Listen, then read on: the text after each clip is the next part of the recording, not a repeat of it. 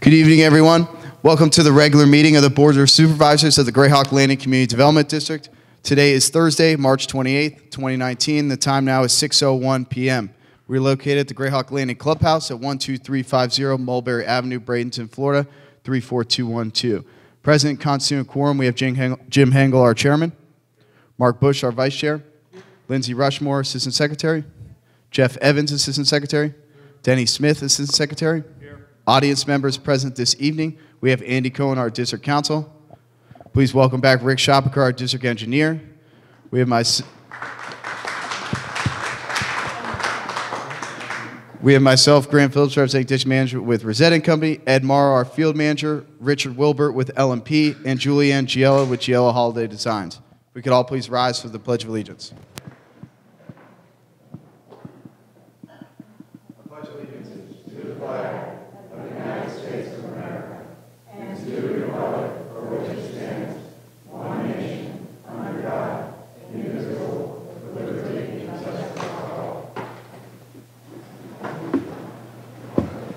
Once again, the first item will be audience comments on the agenda. Um, the microphone will be up on the podium. The first audience comment card is Eric Lachelle or Lashecki.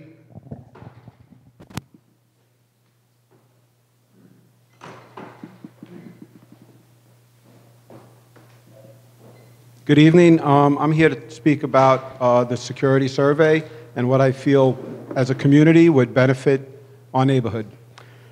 Um, I've been living here approximately almost five years. It'll be in August, and I've seen the security come and go, faces come and change. What I see is just someone riding around in a vehicle for the most part, showing uh, presence to the community and never taking action if need be.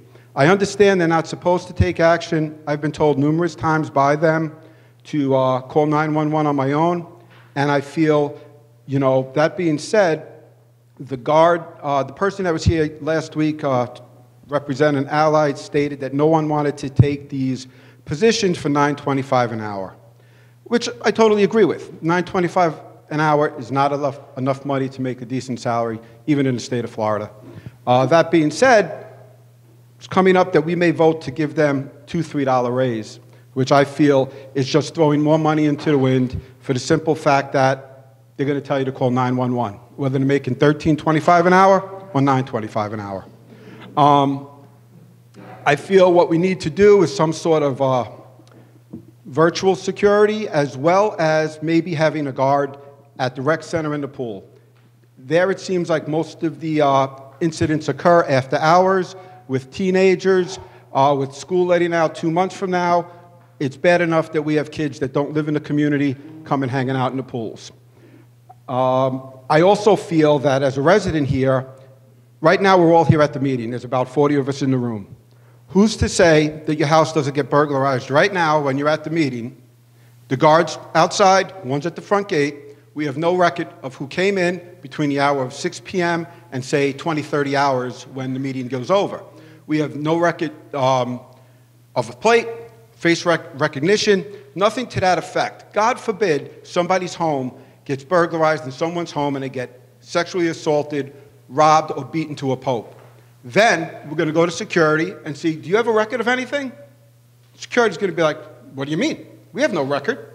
But if you could go back in the time frame and see that something happened between 1800 hours and 2030 hours, then you could at least look for a plate, which will give you a registered owner. It'll give the police a lead to at least go back and have a permanent record of these individuals coming and going, no matter what entrance it may be. Um, that being said, I am a former law enforcement. I work for the sheriff's office now, and I understand that we need to have more and more patrols in the area. Working for Manatee County Sheriff's Office right now, the growth is so great out east. They are just opening up uh, 4th District off 70 near Lorraine, and there's just not enough manpower to do routine patrol. Thank you. Thank you. Next audience comment card I received 705 Rosemary Circle.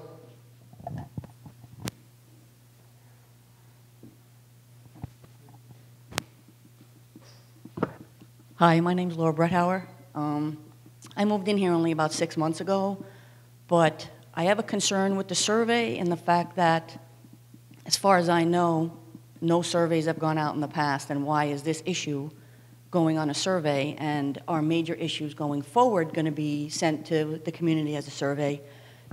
And the other issue is, like we just, was just said, we're all here at the meeting because this is important to us. Where is everybody else?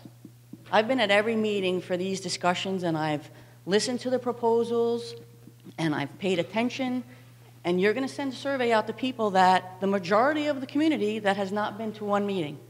And is, is your survey going to reflect all of the information that was in those proposals to the rest of the community on a piece of paper in a survey? And my other question is, is there talk, there's also talk about increasing the fees. Now, as far as I understand, that has nothing to do with security. Is that also going to be made very clear in the survey that the security has nothing to do with the increase in the fees? It's got to do with all the other things going on in the community. And that's my Thank you.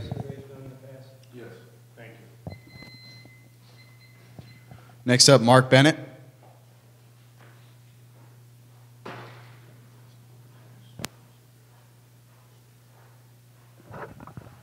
Hi there, my name's Mark Bennett. I've lived here about 15 years. I uh, live on uh, Nature View. Uh, My concern is uh, the Brazilian peppers. I have the, uh, Ed knows about this, I've talked to him in the past. Uh, I live with the nature trail, it kind of cuts out around through our, you know, it's behind us. And the Brazilian peppers, they've gotten out of control in the past. I've been to the meeting, I don't know, maybe five years ago, and it was addressed. They've been back. Uh, I spoke to Ed, I was on the list like last September, August, something like that. And uh, we have a problem with the peppers. And basically what they do is they come in onto my property and it gets, it's, out- they're out of control. There's nothing we can do about it. And uh, that's when I came the last time and I just wanted to know if you guys, if we, if there was a plan in place. There, previously, there was a plan in place to, you know, eradicate this stuff because it's beyond what a homeowner can do and it's also, it's on our property, it's not on my property. So that's my concern and there you go. Thank you. Next is Jack Rinaldi.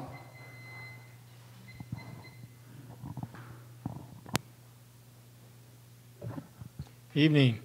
Good to see you back, Jeff. Yeah. Um, Not going to ask or talk about security. Not, not going to talk about Brazilian peppers. I'm going to talk about what I've talked about for two and a half, going on almost three years, and that's the midge infestation. Um, So far, we've had, Pond 10 has had a lot of the airlines installed for the aeration that's going on. Waiting for them to get it into Pond 7. I believe they're having some problems getting across, so hope we hear an update on that. Update is Tuesday, they will have all the lines in. Super. And the only other thing they're waiting for is the perm, the electrical permit to be For okayed. FPL? And that's it. And everything else is ready to go in. As soon as they get the electrical permit, they will put the cabinet in with the pumps and turn them on. Perfect, perfect. Good, good. up-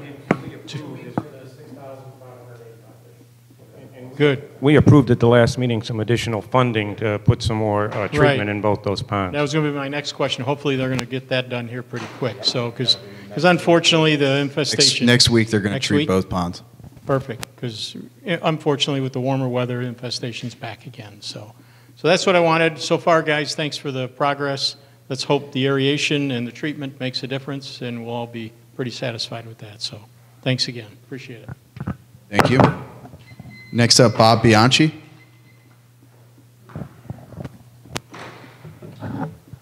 I was at the CDD meeting last week and had some thoughts that I shared with uh, Chairman Hengel, and um, he responded to my comments the very same day, and I thank you very much for doing that. It's a breath of fresh air. Uh, I've lived here for over 10 years, and the same two issues come up time and time again. You know what they are, security and landscaping. I have some thoughts that I'd like to share with you and the other residents to see if maybe we can stimulate some creative thinking and solve these issues once and for all. Um, We had uh, some introduction to some security proposals, uh, and I'm taking some information from what I learned uh, during our meeting. But I think we should have a combination of uh, virtual or monitored uh, surveillance as well as manned posts. I don't think we should have one at the exclusion of the other. Um, I think we should have a guard at the main gate that's properly attired, asks for identification, uh, records the time, the destination, and the tag number. Now, we know they're not required to do that, but I know that most people will do it just because they're being asked to do it by somebody in uniform. So I would uh, also remove the posted entry code from all the gates and direct all the visitors to the front gate. Uh, Consider a proposal for RFID readers for the residence vehicles. Eliminate the guards at the pool.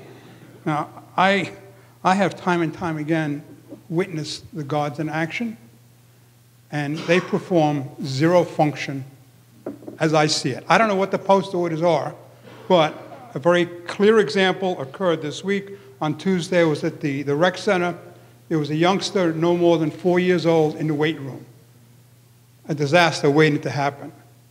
And the guard was sitting right there. The guard was inside. Later on the same day, uh, there were three uh, youngsters about 10 years old in the uh, uh, hot tub, and that should not be allowed. I think we should have cameras at the strategic locations at the pools, the back gates, tennis and basketball courts, and monitored by a guard in the. Um, I would also suggest you consider a uh, uh, solar speed detector, a sign that would post the sign of, uh, would post the speed of vehicles passing. I think most people will comply if they're reminded. I know I do that. Sometimes I'll exceed the speed limit in other communities that have them, and I see the reminder and I slow down. Uh, I think we should continue with the roving guard. I think that's a deterrent, just like any other law enforcement presence. Um, I think the guard should have post orders, and we should know what they are. Because I don't know what the guards are supposed to do. Are they supposed to be inside, outside? Are they challenging people that are in the pool area? And why are they doing that? We have a card reader system that was supposed to uh, control access, but now we, we have re redundant. And my last item on security is somebody needs to monitor the guard's performance to make sure they're doing what they're supposed to do. Uh, and I've heard many, many stories, lots of posts on uh, uh, Facebook, and it appears like they're not doing what they're supposed to do. But we don't know what they're supposed to do. But we know there are certain things they should be doing that they're not doing. So I think that needs to be done. So I will um, stop at this point because I had a, a, list of items relative to landscaping, but let's uh, deal with these two items to the satisfaction of the board and the community. Thank you. Next up, Sylvia Stasiowski. Hi, I see um, that there's something about holiday decorations on the, on the agenda. I'm concerned about the back gate. Uh, let's say, wait a minute, I was told, the north gate, the end, at the north end of the boulevard. Uh, the, the decorations that you have along the boulevard are beautiful. I love the swags on all the, all the signage. However, the back, the, the north entrance to the development um, is lacking. At, you, at, night, at the nighttime, you can't even see that there are any kind of Christmas decorations on the medallions. So if they, I, maybe that'll be corrected when you have your proposal, that they make the lighting so it shines on the medallions. We'll discuss that later in the agenda. It's a yes. topic for discussion. Yes. Thank you. Next up, Walter Wolchak.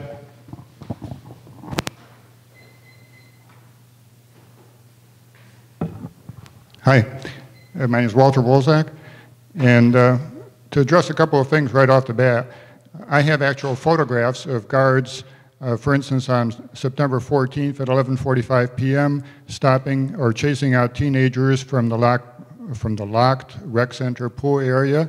I have photographs of this guard that's over right out here, uh, stopping roughhousing in the pool. I actually have photos of it, and other people were, were uh, seeing it because it was happen, happening during happy hour.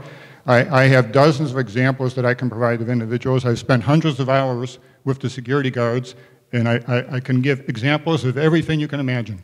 It's just not being posted on Facebook. Um, with, I've spoken with, with regards to the security survey, I've spoken with somewhere between 50 and 100 people, and the general feeling is a hybrid system seems to be the desired direction, but the problem is the cost is higher for a hybrid system than our existing cost. Um, with regards to sending out a proper survey, we, we should not just list the various options for, for the reasons that people said. Uh, we should include details on the current services, costs of the various options, and some background information about, on the pros and cons. Uh, allied security guards at the gates might be considered separately from guards at the amenity centers and roaming neighborhood security guards. That could be a, those could be separate options. Um, should we replace gate entry clickers with RFID tags mounted on rearview mirrors? The RFID tags cost $12 each per vehicle, motorcycle, new car, etc. That's going to be a big cost for people. Uh, video camera monitoring remotely versus on site. Currently, our guards watch over 20 live video cameras from the gatehouse 24 7. I can show you examples. Every time I go there, they've got key cameras and most of the cameras in view. They're watching where the teenagers hang out. Um, automatic license plate recognition. Do we want that just for visitor gates or for all gates? And what about the cost differences and the monthly maintenance? Um, there's an idea to prevent exit from resident gates, forcing all visitors only to be able to exit through the main gate or the upper manatee gate. This can be done with RFID tagging, but do we want this? It means your pizza guy is not going to be able to get out easily. Um, with regards to one recommendation that was brought forward by various people was switch to um, manned gates from only 7 a.m. to 7 p.m. Uh, excuse me, from 7 a.m. to 7 p.m. Go, go virtual Envera or some solution for, for the evening hours. Uh, there's a few issues with that. Um, right now, those guards that are monitoring from, that are sitting at the gatehouse from 7 p.m. to 7 a.m. are actively monitoring cameras. If you shut that functionality down, you've got to replace it with something else. If we shut it down, we save $53,000. But if we replace it with, with Envera's solution, which is quoted in their books, that comes out to $50,000 plus $8,900 per year for the rear gate for a total of $59,000. That's $6,500 more than our existing setup. So that, that's not so great. Anyway, I've sent the full details to this to the CDD members. Thank you. Thank you. Last card I receive is Russ Ferentz.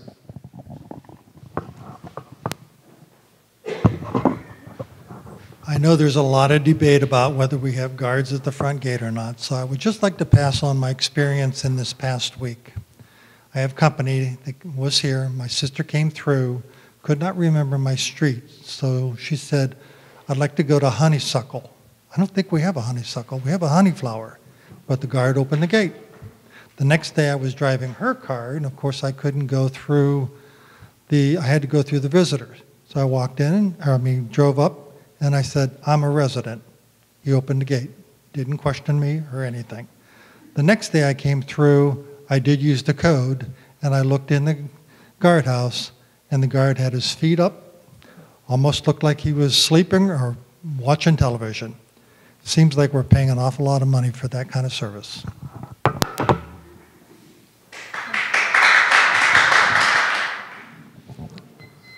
Thank you.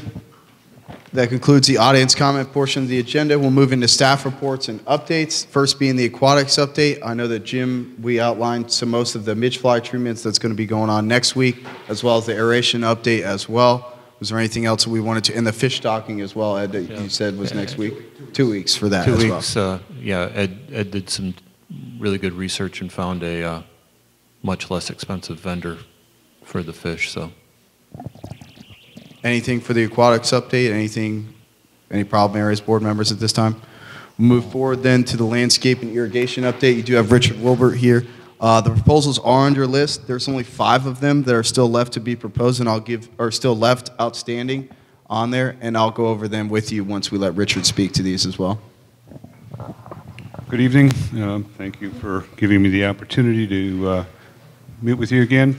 Uh, Briefly, I just want to go over a couple of things that uh, have been happening that I wanted to bring to your attention. Um, Number one, I've been approached by a number of residents uh, regarding the ant issue. So we have decided uh, at LMP tomorrow, we'll uh, be retreating all of the walkways and the nature trails to see if we can't get some of those areas under control. It appears as though they've started to flourish, so I think it would be best we attempt to try and get rid of them at this point. Secondly, um, I've had a uh, little bit of uh, difficulty with some uh, uh, characters. Uh, I assume they're either rabbits or uh, the cranes, but they're pulling out my flowers. And I'm trying to figure out what we can do about it, but it certainly is annoying.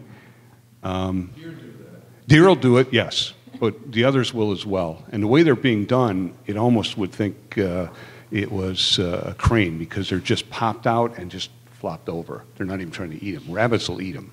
So, uh, but I, I've brought this to Ed's attention. He and I have talked a little bit about some things we can do, but I'm certainly open to uh, the discussion at some point as to how we might want to address that because I don't see it going away. It happened previously. Plants that don't taste good to them? They're not eating the plants. Oh, they're just plucking They're them just. out? Yeah, I mean, th- They're, they're, prob- they're probably eating something underneath the plants. But yellow plants are not as Tasty? edible as co- other colors. Not that that's a good example. Well, I also think it may be to the fact that uh, these are, all beds are all treated, and in this case, they're all treated with manure, which may also add to the issue. So it may be a matter of looking at some different uh, items that we can put in. Yeah, the hot, okay. Have, have they been treated with any type of insecticide for grubs or anything like that to eliminate any food source that the birds might be looking for? I'm not sure uh, about that. I haven't found anything that's indicated that anyone really has a handle on what's causing or what, what could be used to prevent them from doing it. Um, You know, again, I think, uh, uh, you know, the old-fashioned things that I've heard of that I've tried myself, some work, some don't, things like human hair, uh, things like mothballs, things like the hot sauce have in some cases work. I know there's a commercial product called uh, Deer Scram that I've seen work in occasions. Put Irish Spring soap in my hibiscus beds. I don't- I put Irish Spring soap Yeah. in my plant beds and they stopped. Yeah, some, something like that may do it. It it would be an experiment to see what would work. So, um, but I wanted to bring it to your attention. We'll see what we can come up with, and uh, I'll continue to communicate with Ed and see if we can find a way to prevent this from occurring. Um, Some of the things that we've started, uh, we've done some work on a couple of the pocket parks. Uh, We did a planting today of, uh, at the Rosemary uh, Pocket Park of uh, some uh, fox lilies that uh, will be planted there, add a little bit of different color to the already green areas. So we've done that. We did some cutbacks on the um, Honey Loop Pocket Park. We have a few things to complete there, but we have started to do some heavy cutbacks on some of the plant material to get it to grow a little more vigorously. Um, Ed and I are planning a tour on Monday to kind of look at where we're at. I think we've uh, admittedly had a few faux pas in the uh, last couple of weeks, and we've tried to correct those. I've been working with my crews daily out here to try and get those things corrected. So I'm hoping with uh, his assistance, we can take a look at where we're at and what we're doing and how we might uh, uh, change some of that. We finished all the fertilizer and ornamentals, uh, palms are all completed at this point, so those uh, rounds have been, been done. Any questions that anyone would have of, of that? Well, I know I, I wrote you a, a, a fairly detailed email over the weekend. Yes. And have those issues been addressed? The Yes. leaf debris and uh, oak, oak debris along the curb spaces? The, um, for the most part, they have been addressed. Uh, There are some issues that I'm still trying to determine what the best method to deal with uh, uh, the leaf debris on the turf areas. I'm uh, concerned about where we're blowing it to and how we're blowing it at that point uh, in perhaps areas that we don't want it. So I'm looking at ways that we can perhaps change that. We've addressed the curb lines throughout the property, and I think we've got that pretty much under control. We've also addressed the uh, nature trails so that they're clean at this point. My plan at this point is to try and uh, blow those areas, especially at these times of the year, two or three times during the week and see if we can't get it under control that way. I have to admit, it kind of caught me off guard, so that's basically m- my responsibility, and I just didn't think about it being that big of an issue. So at this point, we're trying to figure out a way to address it. Okay. Members, you had on here on the agenda, if you click on tab number 1C, that very first page, page 12, the controller replacements. You've got three controller replacements. Um, The first begins on page 30 for the park at Rose, Rosemary. That one comes in the amount of, those are the two option proposals. It starts on page 30 and then ends on page number 33, and the total was 18575 Those are still operating right now, right? They are, yeah.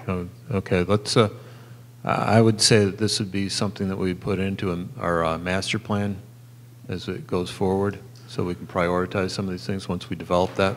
Understood? The 51733 is the next one on there as well, and 51732. You haven't taken any action on any of these controller replacements. We are waiting on the, the development order research as well, I know for some of these as well, for the $57,000 one for 571, or excuse me, 51733, that's $57,000. And that was one we waited on for the development order, and 51732 is $19,367.61. That's page 30 through 38 of your agenda are the controller replacements. Again, I think this is something we have to wait until we do uh, uh, investigate the development order requirements at that point, and if, if that isn't satisfied that way, that then we do put this again into uh, the master plan list to, uh, you know, get this stuff up to uh, code. And, and I, I will speak to an update on that during my attorney comments. The other ones that were outstanding board members, um, page 41 and page 44. The other ones were the, tr- the last one was tree rings on Honeyflower Loop. That has not been done, correct? That is correct. Is there a reason? That's $2,025 for that. It look, create tree rings around 55 trees, board members, between 50, 551 to 641 Honeyflower Loop in the back common area. Um, I, I think that was all uh, based upon if we were going to remove those trees that were damaged. And which Rick's would- gonna Which would reduce that number dramatically. And Rick's going to speak to that under his report. So the only other ones in, board members, page 41, is the remove and the replace sod. It's estimate number 58199 on page 41. Again, I think this should wait until we uh, develop the master plan, and I think we can start addressing that stuff, and hopefully at the April meeting. I'll place just, and then the last one is 44 for the brush cleanup at pump three on page 44 was the only other one that is outstanding at this time from LMP. And that's 2,241.25. E- Ed, have you had a chance to talk to those residents or anybody? Yeah, you, Denny, you were going to take a look at that down there through that trail? You wanted to look at that area? Okay, okay. I haven't had a chance to get out, I've had uh, company here all week and everything. So I'll place those five proposals on the next agenda, then board members. Uh, Richard, did you want to indicate anything in regards to the mulch? Yeah, I did. I noticed that there was a uh, proposal that was provided to you uh, by uh, Big Earth, and I wanted to make sure that uh, we were given the opportunity to uh, uh, bid on this as well. As you may know as well, we also have uh, a bid for a different type of mulch that was required in the original proposal. Um, The original uh, proposal that we made, the specifications, I believe, called for a mini nugget type of mulch, and that's what we were required to uh, uh, provide you an estimate at that time, which is much different than the cocoa brown that we're looking for. So I was uh, hoping that we would get the opportunity uh, to provide you a quote for the mulch as well. I don't, I don't have a problem with you, you providing a qu- a quote. No, we can do that, and you can have that for our April meeting then, if you could, and then the Do board. you have the volume requirements? Yeah, I do. The only thing I think that would be different would be the fact that there was some playground mulch that was being put down by Big Earth. Yes, put that down. Yeah. That's a safety factor. Anything else then, board members, for LMP, or do you have anything else for the board then, Yeah, Richard? I think we're, Thank you, sir, for Good. attending this evening. all right, thank you. Richard. Next up, board members, uh, District Engineer, Rick Schoppeker. Well, first off, I want to thank thank everyone for the for the prayers. They were greatly appreciated. Um, all, uh, from the the open heart, everything's going great. I still have some bed sores I got in Mexico that are pretty uh, painful, but uh, but two things: don't have open heart surgery in Mexico, and if you take the cruise, buy the insurance. Uh, First off, the State Road 64 update. Uh, I'm not sure if everybody knows, but Manatee County is going to forward the funds. FDOT is going to pay them back, but they're going to forward the funds for the roundabout here at at Greyhawk Boulevard, Pope Pope Road. And, and speaking to FDOT, that construction is planned to start next summer. Uh, Down, down on 117th, that developer has completed the work. Uh, FDOT has signed off on, on the work. That developer has elected to keep the barrels in place.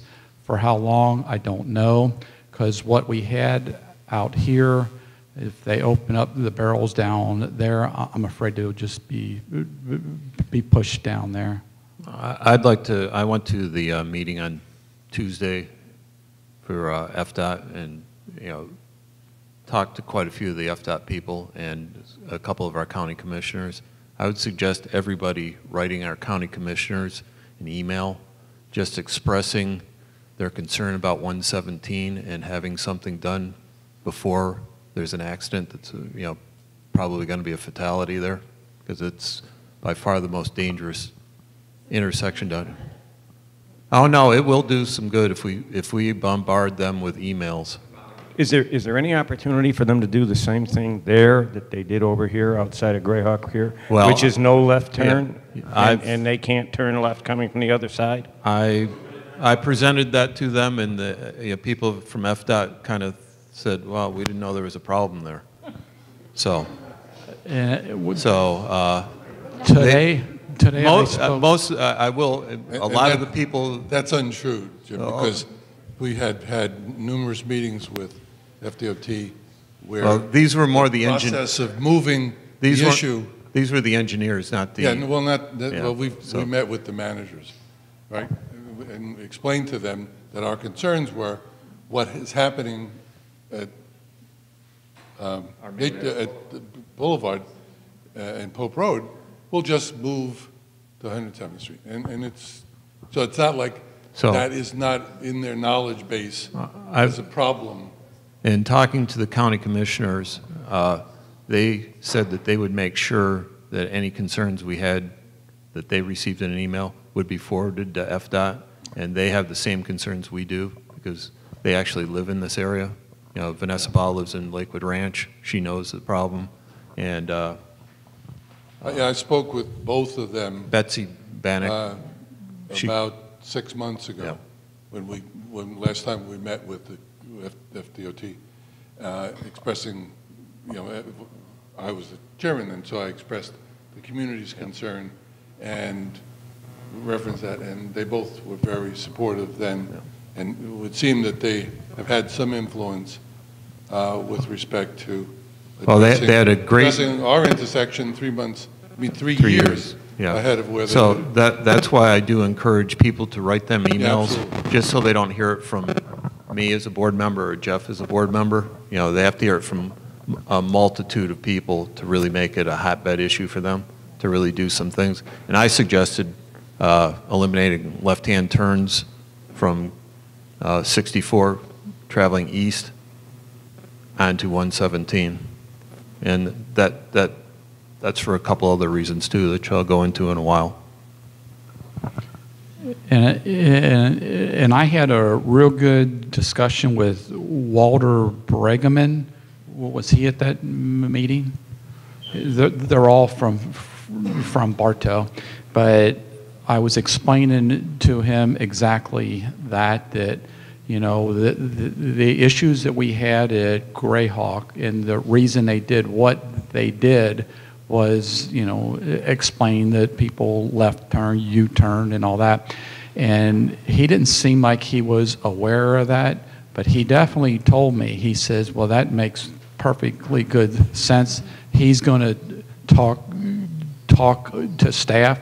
And Walter is one of, one of the senior your people uh, uh, over there. So, you know, yes, if, if there's an issue, and hopefully it wouldn't take a fatality, but, but that road belongs to FDOT. They could do whatever, the- whatever they want to, to make it safe.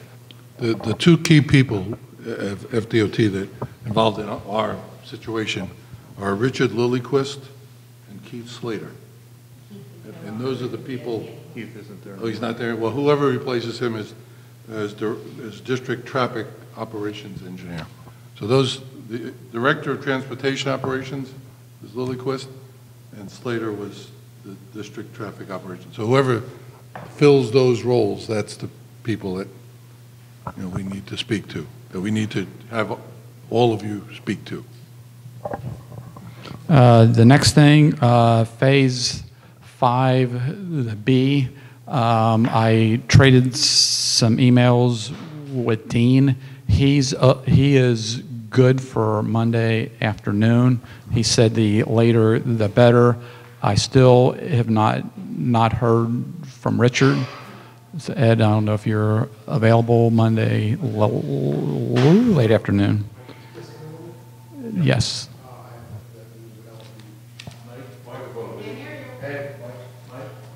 He has a meeting, he has a meeting with LMP. Is that in the afternoon? Uh, Okay, okay. In uh, the conservation area, the signs, that little sign that's, that's on, the- on the posts, it's, it references these wetlands are dedicated to the the Manatee County. They're not. So those little verbiage is not, not accurate. None of the wetlands have been dedicated to the- county. They belong to either the CDDs or, I don't believe any belong to the HOAs, so. No, it's all CDD, and I had uh, extensive correspondence with uh, Swiftmud about it, and uh, the only, only areas that they're concerned are the two designated wetlands, or the several designated wetlands in the community, and they said, you know, you might want to have to uh, contact the county about invasives in there, other, other places, but they said that, that they have nothing to do with it, so. Theoretically, then the signs can come off of those posts. Theoretically, yes. You could peel them off, but still, most of the words, uh, they're good, you know, don't go past, the past this, environmentally sensitive. So I I think we just blacken out. Right, the- take, take the out the part. county provision, which is what I thought we talked about previous, at previous meeting, yeah. Okay. And the- the last thing I had was uh, the perimeter trees Uh, According to the uh, original development uh, order, a canopy tree was re- required every 30, fif- th- every 30 linear, linear feet. So if we take some out, we have to replace them, not necessarily right in the same spot, but, uh, but the total number was a requirement. So if we took some out, we just need to replace them. And that's all I had. And the you perimeter you're talking about is perimeter surrounding? Um, I was looking at Or is it in the common- original. Just common areas in general? No, it was the outer perimeter of the development. The drawings that I had for the original Gr- Greyhawk was for 30 foot. I think for Greyhawk West, they, that 50 feet. The question was, uh, there was Cara Cara Loop was the issue that we had, was, and Cara Cara Loop and Honey Flower was if we remove vegetation in between those two, what would we have to place if we were to replace anything? That was the question basically from the board, was what type of plant material, if they were to remove it, would they have to replace it with the same thing?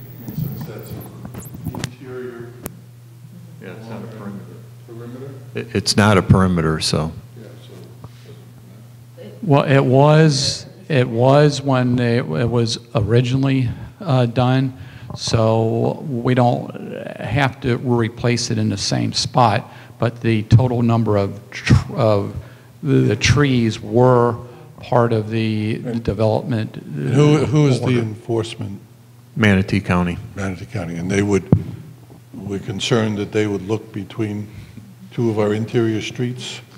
I to could see missing almost trees? guarantee you they will not come out and count then- trees. Don't worry.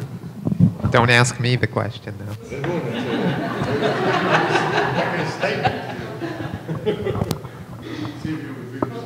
Board members, did you have any other questions or comments for Rick? Thank you, Rick. Yes, sir. May I, uh, Ask, um, um, had a question about landscape before we move on to that topic. I saw a number of emails to you and from you regarding issues um, about LMP. Um, How are we feeling in in the first few months of their tenure in our community uh, with their performance? It's been a little rocky, but I lit them up over the weekend. Okay. Pretty good, so. uh, We're satisfied enough to give them some more yeah. time? Yeah, they're, they're kind of on an informal notice right now. Okay. Trying to catch up. And just to let you guys know, on, on that irrigation, all those proposals, I never had any issues with Brightview with all the irrigations. We, right now, we have a lot of plants and beds that are dying, and they never were dying when Brightview had all this. Um, 117th Street is pretty much dead. All along the boulevard, the plants they just put in there, there's a lot of them on the islands that are dead. I, I'd never had this kind of issue with the irrigation with Brightview, so just to let you guys know. And then the landscaping, the grass cutting, also, I've never had issues with Brightview with the not skip. They're, I mean, they- right now, they're skip, they're making one pass around a pond and then leaving it for the following week. Um, I don't know how many uh, residents already addressed that and witnessed that. There's areas where they're just, the- they're not, they're not cutting it. They're not, in, in a matter of three days, Brightview had it, this whole, whole ground's done in three days. They, it ta- it's taken them over a week, week and a half to get to the three days where Brightview was at. I don't think they have enough manpower to cover it.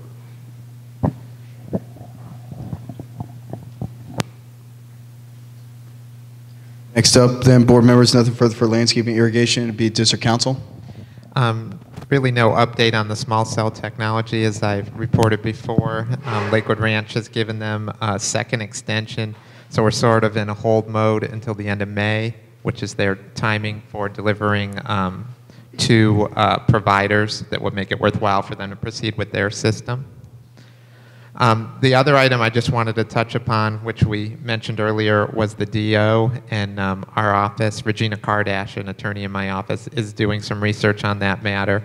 Um, we're going to be requesting a number of documents from Manatee County the uh, species management plan, the wetland buffer enhancement plan, the exotic plant species management plan, and um, any conservation easements. So with those documents in hand, she feels that she can provide an, uh, a more reasoned um, response to the, some of the questions that we're having. So that, that's what we're working on at the moment.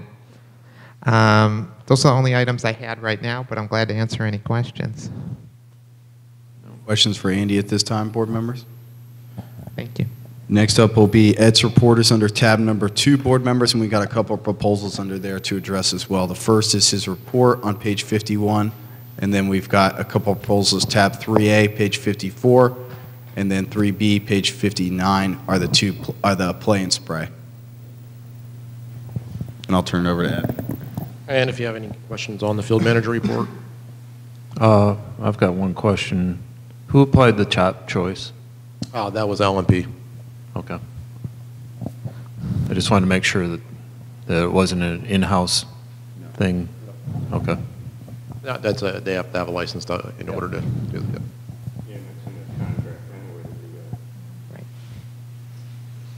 And I, d- uh, the li- uh, lights at the basketball court, that has been addressed. Uh, There was this vandalism issue. They got mad and they kicked in that panel, so that's why the lights were not operable. The timer was jammed in between the plate. So, um, That, and then also the water fountain in the back uh, by the tennis courts. I'm having that replaced. It's $1,500. It will have a new two-tier, but it's also going to have a bottle fill on there with a filter, so nobody has to drink out of that when they urinate in the fountain back there. You can just put your bottle up and pour it right out, so people could actually use that fountain back there. And that's all on that report. So then, board members, if there's no questions on Ed's report, tab 3A is the play and spray. Um, We to take a look at this. Uh, That one, the one company right now uh, is brakes on that playground, play equipment. We cannot replace any of that equipment. They will not sell you guys any components, any replacement place. Uh, They directly, that's why it was taking so long for the company to get back with me. They are aware, they are aware that we need to have parts for that, and they're refusing to sell any vendor the parts for our Greyhawk landing. Board members, board members, I don't know how much you know about the history with Compaq, but we had um, a dispute with them in that um, we had, way back in 2014, they had charged us um, $24,000 to do some renovations. We were not happy. We had paid them 50%, and we were not happy with the renovations. They were never able to get it to the condition that we felt they, we had contracted for. Um, there was a exchange of letters between them in December of 2014, and then my letter back to them in January of 2015. And um, we never did pay them the additional $12,000. We held that money. Um, they threatened to come after us for it. We basically told them, you know, give it a shot, that you haven't performed pursuant to the contract. And obviously, they, they dropped that and didn't do anything further. So we have sort of a bumpy relationship with Compaq, to say the least. Now, uh, when I've I've been here uh, two times, we had to replace the pump for that plant spray. I've been working with the vendor. They're lying and saying they're buying the, the pump from another facility, which is the same pump, and that's the only reason why we're, we're getting the pumps replaced for that. Uh, The overall state of the current splash and play, you know, I I don't know if anybody else on the board went and looked at it when the, when the water was off, uh, about the, the rust, the sharp edges, the, the, the the slide being split, uh, no, no uh, cushion for small children coming off that slide. That's been another concern that's brought to my attention. Uh, So, you know, now you can go ahead. I don't know, everybody else was aware of how deteriorated that that apparatus is. You said 17 years?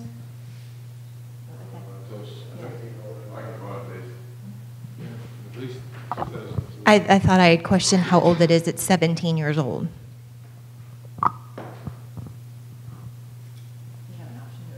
Yes. I would assume then that the proposal that they have from Compact in here to dismantle it and send it in and have it refurbished doesn't mean anything because it's with Compact also. Okay, so. And that was 2013. Yeah, and it was for like $19,000 to, yeah, but that was before you, we had any problems with them, correct? All right. Yes. Yeah, we contracted with them for the renovations in February 27th of 2014. When I went back and looked through our file on it. Since I've been on board, that was the issue when I stepped on, and we just been winging it, fixing it. Uh, myself, staff, we've been going out there and just fixing whatever we can ourselves and replacing it.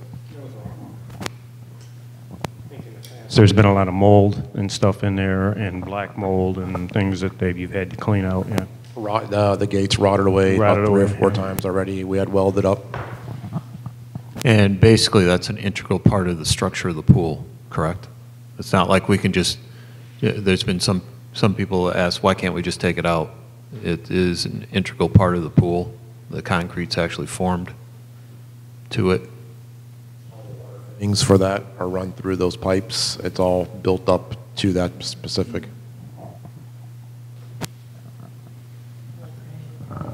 So the company I've been working with, uh, right now, the, the one that he sent over, that is a design that they're putting at another facility. But uh, Carlene brought, even brought to my attention that we can remove a lot of the products on there. They have spray guns. I don't know if you guys want the spray guns shooting water, they'd be shooting. So we can eliminate that. The, the sliding board is longer. We could go with a shorter slide. So there's a lot of stuff that you could actually eliminate on there to cut that price down. And then also, I'm waiting on another uh, proposal from him that he's putting in another plane spray, another place that we could take another look at, another design. Yeah, what, what would a warranty be on a new, That would be, we would have a contract that Andy would draft, I'm assuming, for something this large, and we would place in there the warranty period. Yeah, but I, I mean, off the top of my head, I don't know what they'd be willing to offer, and I think that's your question, so I don't Yeah. know. And the other thing I would just keep in mind, board members, is what time of year you want to do this. If you do decide to replace this, keep in mind the summer's coming up. Obviously, it's going to be pretty packed pool season this summer. well, as well. yeah, that's one of the questions we'd have for them. What would be the downtime for them to mm-hmm. install? If mm-hmm. it's only a matter of three days, four days, that's Yeah. a different story. That's not a big thing. To, to, es- to order it, but, but not to install once it's on, once it's on site.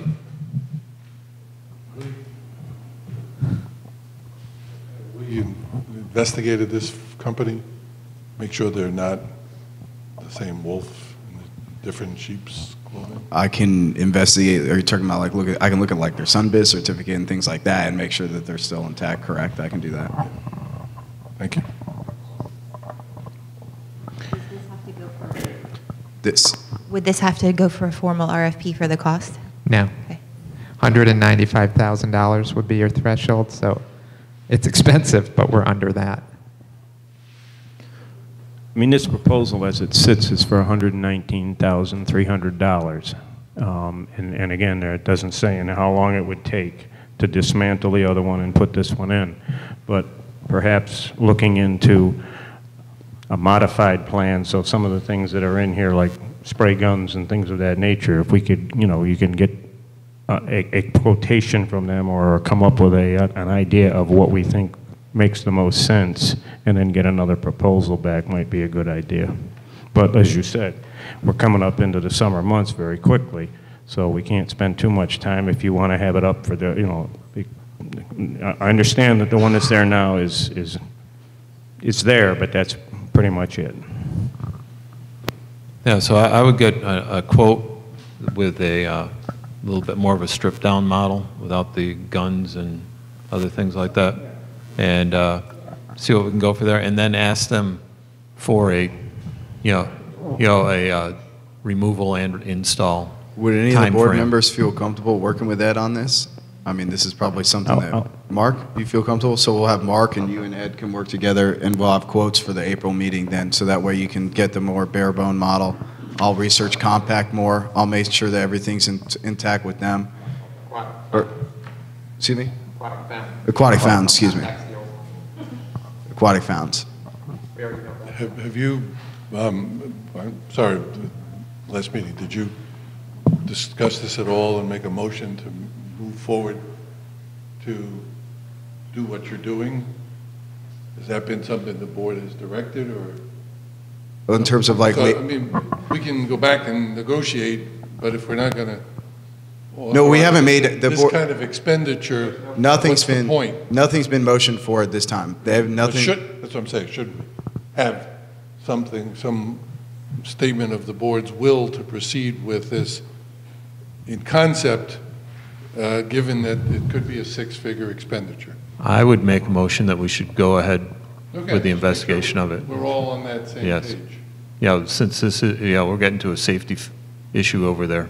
What, what, what- what was the motion? It was a Make sure we're motion to clarified. move forward with the um, reserve fund expenditure for the plane spray equipment at the rec center. That was a motion from Jim, a second from Denny.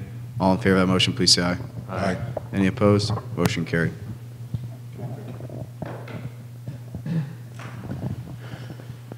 Next up, then, board members, Mark, you'll work with Ed on this, and then we'll have them for the April 25th meeting for that. Um, So the next item will be tab four, board members. You have holiday decorating proposal. You did hear from one resident. I'm actually going to allow for GL Designs, actually, to answer any questions. Uh, You have Julianne's here. I know that Ed, you were able to meet with her on site as well for your holiday decorations. Reason you're seeing this so early is that I'm sure she can indicate as well. Most CDDs do it around this time frame to get on schedule because if you try and do it in October, September, October, most of the time their schedules are booked for the Christmas holiday by that point. So uh, I'll turn it over to Ed and we can let Julianne speak as well if you have any questions. That's under tab four, page 71. And it's also under separate cover as well. She provided I went over with her, we went over with a lot of stuff, uh, the residents were concerned, uh, they would be adding lights to the palm trees in the front and the back, uh, at the clubhouse as well, at the rec center, so it would be a lighted, lighted palm trees. It, it's a big difference, the bows, the decorations, it would be a big change to Greyhawk. And, yeah, we'll let her speak on that and let her look at the, let you guys look at the photos and everything, but I was very impressed with it. It's a world of a difference from the old decorations. Okay, this is a new vendor then? This is the vendor right here. Okay.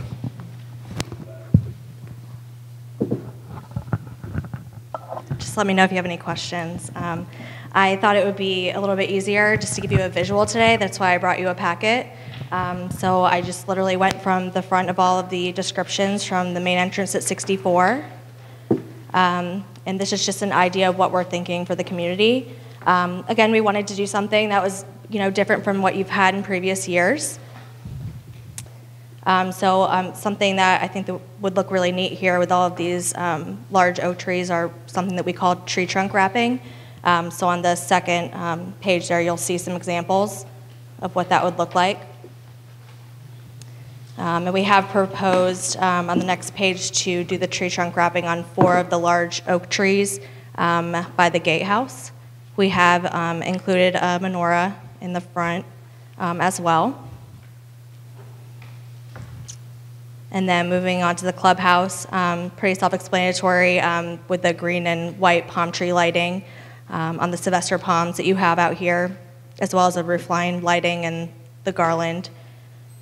And then the, on the recreational facility, we do have the garland and the bows around the entrance there, as well as the very large wreath. But we've also proposed, if you'd like to add um, additional tree trunk wrapping, we do have that as an option as well, um, which Ed and I talked about. I think it would look really nice on the three additional trees there in front. And then you'll still be well under budget. So just let me know if you have any questions. What, what what is our current budget? thousand, and you got the same bid from your other vendor that you normally use, or that you've used last year, excuse me, is Sarasota, t- excuse me, Trimmers Holiday Decor, and the total ten thousand seventeen dollars.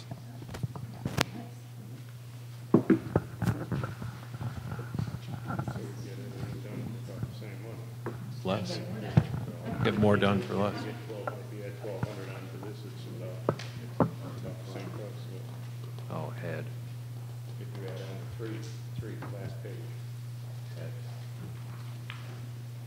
insurance, correct? We sure do.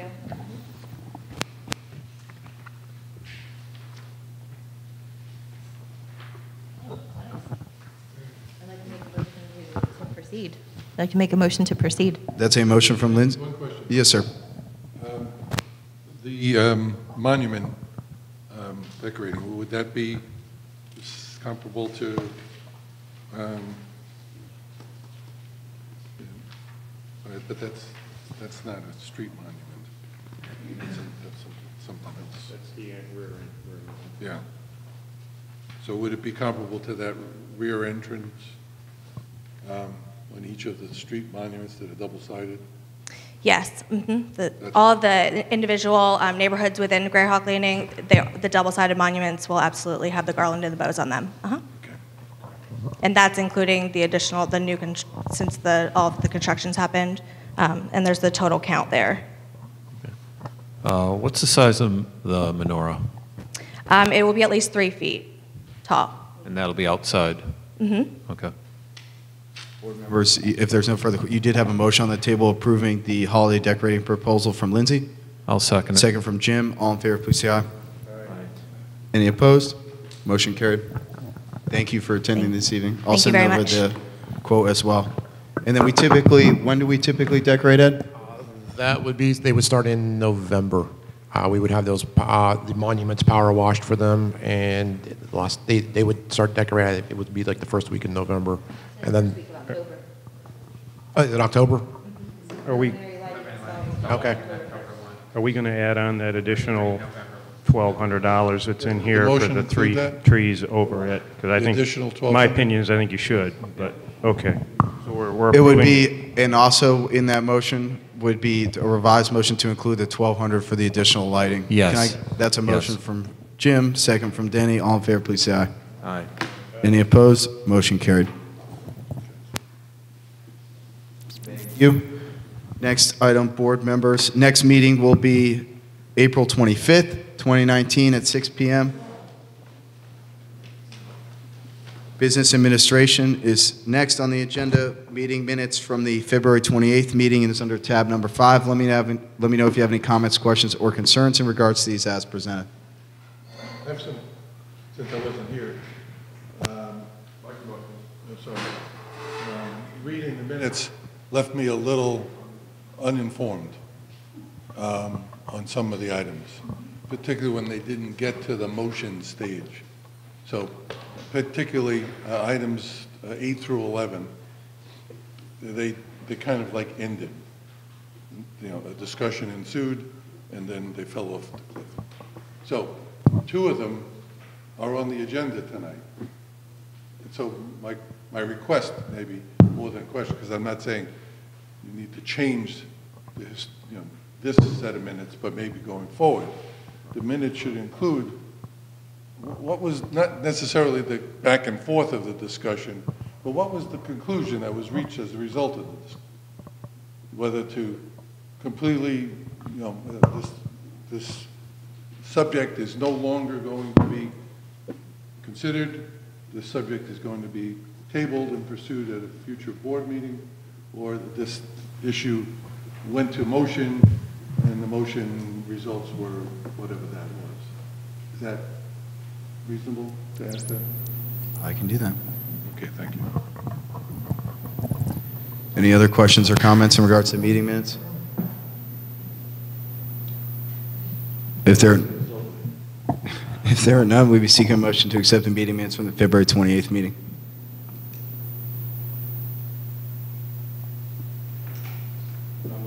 I make the motion, we Motion accept from the Denny? minutes. Second by Jeff. All in favor, please say aye. Aye. Any opposed? Motion carried. Next up, tab six, board members, you have the operations and maintenance expenditures for February of 2019. These total $85,175.54.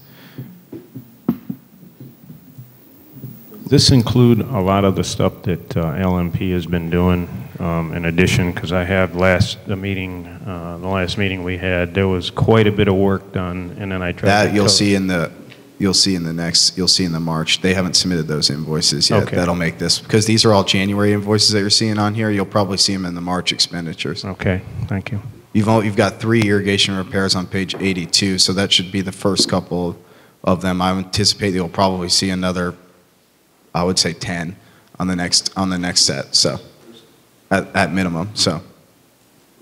Yeah, there's quite a few here, and if you look at the amount of money that was spent, that was done, it's a significant amount. I just wondered, I, I didn't believe it was in here because the price was just too low. The- No, that's this one, that, they haven't even submitted, you'll see that in the March expenditure. I anticipate that that'll be a high dollar amount that you'll see from LMP, so.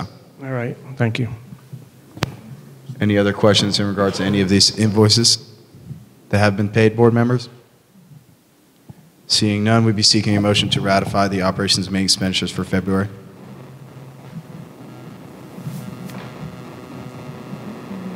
Motion by Lindsay. I'll second it. A second by Denny. All in favor, please say aye.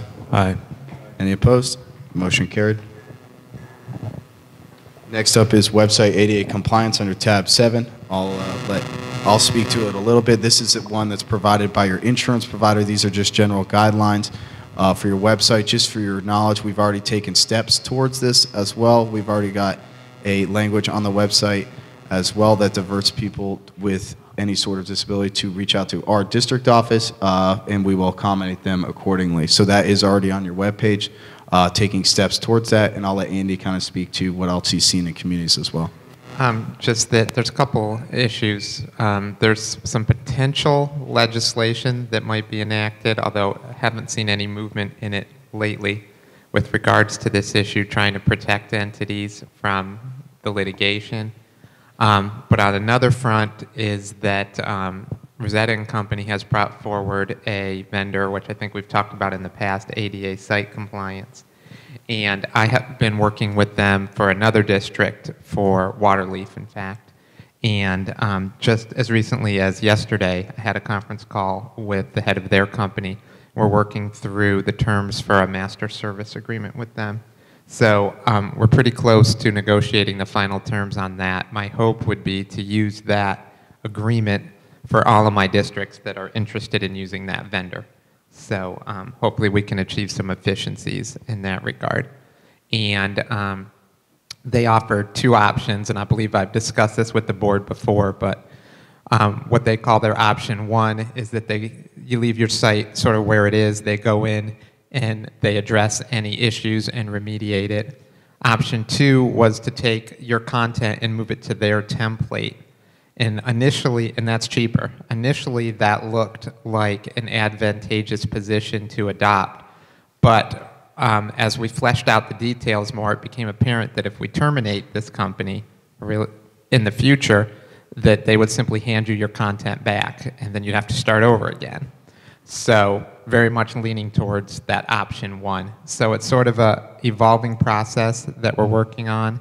And um, I know that also I spoke with Eric Daly from Rizzetta, and they're potentially looking at some other vendors as well that they can bring forward to districts. So right now, um, we're addressing it and we're working on it. There's not an extreme deadline since Egis has said they just want you to have a plan in place, not done, just a plan in place by October 1st. So we're being mindful of that as, uh, as we proceed forward, and I'll keep you posted. Glad to answer any questions anybody has. Next topic on the agenda then, board members, uh, the clubhouse sound abatement.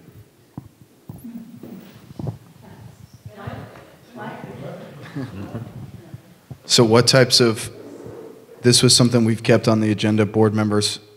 Um, This was something we viewed in the past. I think the quote was $7,200, Denny and Jeff, if you recall. I believe it was $7,200 was the first one we looked at. And that was back in, I believe, January, January of 2018 that we looked at that. So is there any type of sound abatement that the board would like to currently see here? Any vendors that you prefer to work with? I mean, we can obviously reach out to the same vendor and get an updated price on, from it the last time as well, but anyone in the audience as well that has any knowledge in this as well? Uh, What did the uh, last plan en- entail? So it had, we had panels up top and you had curtains basically like almost this entire, like it was like drapes basically all the way over all the doors and all the openings and yeah, the board didn't like that option, so. Yeah. Is there any, any way we can have them just quote the ceiling, start with that, start with some But uh, do we need panels anything on the on the wall. walls? You know, do we need Panels panels on the wall. walls and the ceiling? I And, would you think know, you're going to need paneling on the You know, walls. we don't need drapes. That's just going to be a nightmare, somebody ripping them down and. Grant. It seemed that the uh, intent was to more address the hollowness of the building's sound than to enhance the- people's ability to hear anything. I- I have a Just, s- Like, just change the tone. I have a more than CDD change in the volume. Venice that just installed panels, and um, the company was Acousti, I believe is their name, A-C-O-U-S-T-I, and they were very happy with the job performance there. You might want to check on that. Thank you, Andy. I'll work with Ed, and we'll get proposals for the April meeting from that vendor. Part of the issue. You need a motion. For sound is where is the sound coming from and where does it have to go? So uh, here, we're, we're looking at not a fixed location for the sound, but sound to be coming from different parts of the room. So putting panels up only helps to keep the, the sound from bouncing. And, but if it's coming from, from this table out to the audience only, then you can address that. But if it's coming from that corner and, and over there and over there, then it's not as simple to, um, to address I would sus- economically. I would suspect that these companies have sound type engineers, people that are capable of assessing that requirement and the needs for that. And, Uh, and it's in getting pri- our quotes, we should probably be sure that that's what we're getting. I know, I know sound is challenging for anybody sitting back there right now. And, and I, and it's worse when it's a large group of people in here having conversation. Yeah, it's, so anything that would stop the bouncing would help. Where's the sound coming from? From, is it from this, this box under the table? Maybe we can, no, I know, I mean, it's coming, it starts with me, but where's the amplification? It's the windows, the floor. So maybe we can put this out in front of the, in in front of the curtain. Well, let's not play with that. Yeah, or, that's true. This, this, that came from Sam's Club, it was eighty-nine bucks, I can get a bigger one for like hundred thirty-nine, but you. Test. Can you hear better now? All right. Let's table just a little money wasting. Yeah, it's a curtain. Drapes. Yeah. We'll take a look, board, we'll experiment with this. If the sound gets better throughout the meeting and audience members, if you have good feedback, then we can still explore the other proposal. Oh, yeah, we definitely have to uh, explore that for functions. Understood. We'll have that for the April meeting. Next up, board members, is the discussion of the security survey letter. This is what I provided to you in front of you is a draft letter. Um, Andy's taking a look at it as well. Let me know, obviously, this can be revised. Obviously, board members, the, how this works is for a mailing, you pay per page. So you got to figure, it's at least a dollar, it's about a dollar a page, just about, to do a mailing. So you got to times that by the number of homes as well. So anything longer than this would go on to the second page, basically. And the one thing that Andy and I discussed beforehand was putting a deadline on this, obviously, as well, if we were certain that. And, and to have it, have it any validity to it, what kind of percentage of, of residents are we going to have to have respond to this? Is The it like 5%, 10%? We did a survey, we got about forty percent response. What was the topic, Jeff? It was on the prioritization of different um, activities, amenities, basically. Um, Do you want a dog park? You know, that- Those types of questions. And um, basically, the response was um, unusable because it was this, you know, it's our chronic problem, the silent majority. Um, So many of our residents will not respond. We will not get their input. Well, that's, and, and the other thing, since they, since it's not like, do you want a dog park or not, because everybody knows what a dog park is, nobody knows what these security presentations were. So, uh, you know, I, I have a problem that even if we got 100% participation from the residents, all but the 40 or 50 people that come to these meetings are the only ones that have ever seen a presentation on it. So what are they basing their opinions on? Yeah, uh, Probably their experience with uh, our. Our current. Our current situation and their experience with other communities' virtual systems. So, uh, you know, we continue to have a, a very strong need for our existing uh, vendor to perform better, to look better, to sound better, to act smarter. I think we agreed to pay them more Yes. already, so that's not the issue any longer. Um, And Andy, I've got a, I've got a question for you uh, uh, about uh, if we do go to an RFID system, and can we restrict entrance and exiting to just the main gate on 64?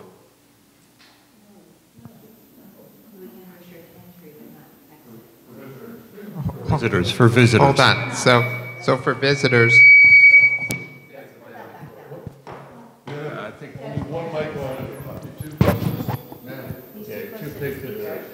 am I too close? Well, this mic works.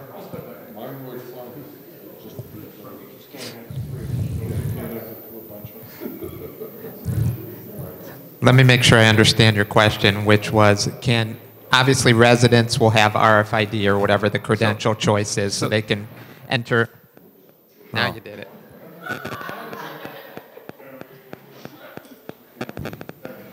So they can enter and exit at whatever entry point.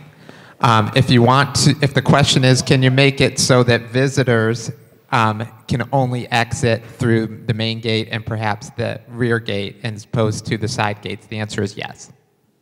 And so can we restrict entry to just the main gate? Yes. For visitors? Yes, you can. So we can restrict exiting for visitors to the main gate too, right? I'm sorry. I So at the same time, we could restrict exiting to the main gate only for visitors too? Correct. So we don't have to have Upper Manatee as a public access gate?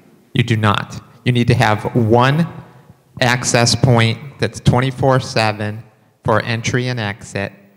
And if you were to restrict everything to just say, let's say the State Road 64 gate, my recommendation, as I've done in other communities, is that you place signage and such so that people ha- know how to get in and out. Yes. Otherwise, um, it's never been tested, okay? Thank goodness, knock on something.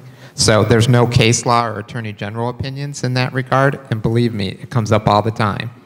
Um, but there are a number of communities that function in that way. So until it's been tested, um, I'm okay with it. That would Lakewood Ranch Country work. Club, for those of you that have been in there, functions that way. There are some other communities that function that way as well. That, that should work for the front and the rear gate. How do we handle 117th Street? You got two gates there, and right now, you're going to have construction going on in there for what, another year, year and a half No. perhaps? Two more years? I had a slight idea with that, what, what, you know, Visitors, yes. not residents. Well, visitors are construction workers too. Well, They're yeah, we'll have non-residents. to Have the gates open during the day. Do we have to though? Or do we have to, or do, or could we make either one of the, That is something that the vendors will insist on. but w- can we have, can we, requ- re- can we, yeah. in the construction. Yeah, can we require the, the developer and the other home builder in here to man the gates and manually operate them for construction? We can ask. No.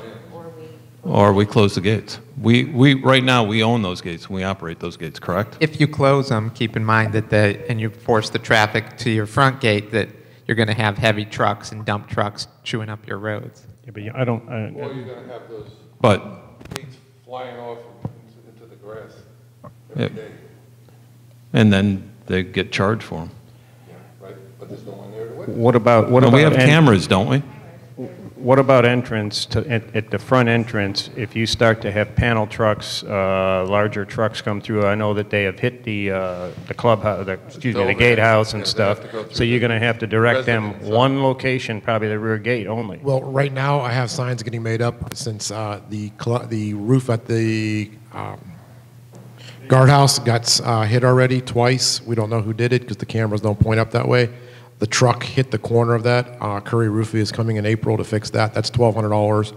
I'm having, I already had the signs made up for no box trucks, no semi trucks to come because uh, if somebody's driving a box truck, they're hitting that guardhouse uh, already within probably the last three, four months. The guardhouse have already got damaged. We, every time, every other month, we're fixing the stucco for that.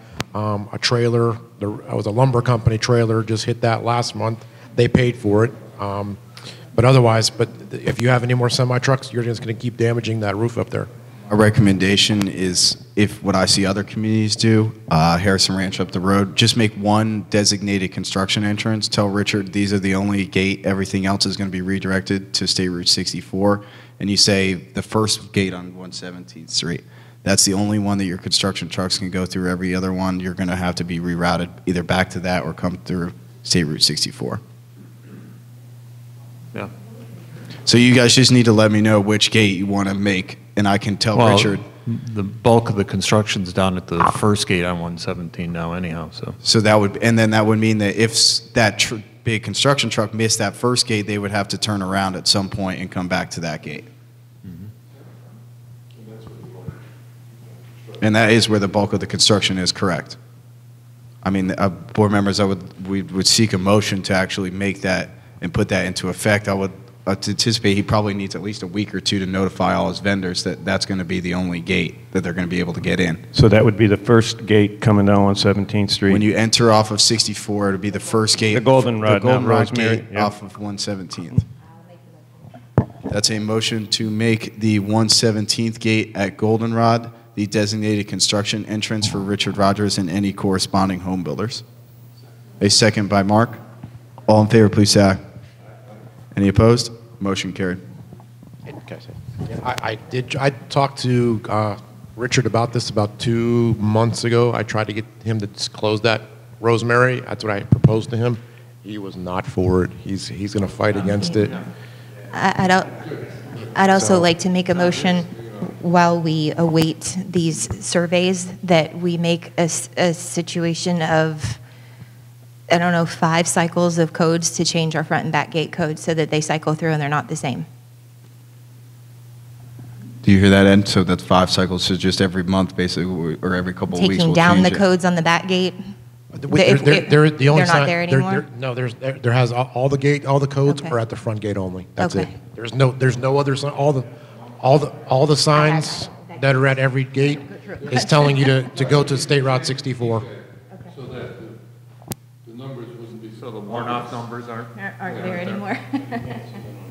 So go go ahead. Have those changed and put the new codes up? Okay. What- what- I'm sorry, can, can, I'm- I'm not I missed it, but did- did we talked about this for so long. Mike, Mike, we got closure. We Talked about this so long and thought we had closure on it so many times. But just if you you would repeat the the motion or the, or- or Lindsay's proposal?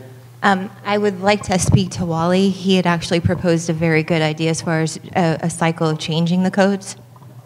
Well, now just give, back up a step, and, and what are, what codes are you changing?